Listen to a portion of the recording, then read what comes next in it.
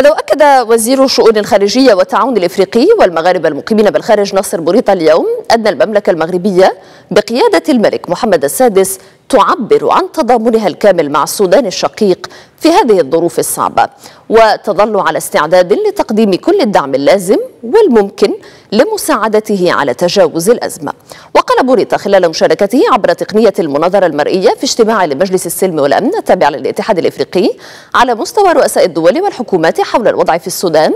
قال إن المغرب الذي تربطه بجمهورية السودان علاقات أخوية راسخة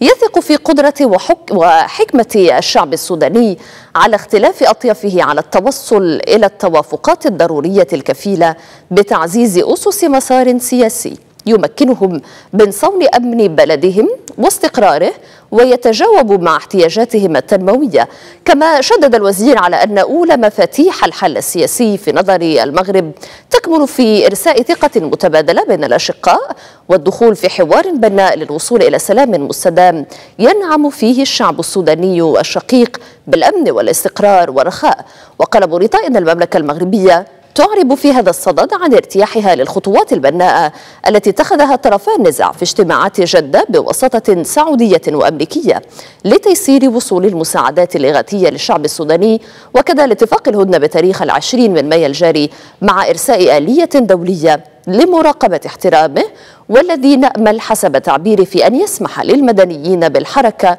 ووصول المساعدات إليهم.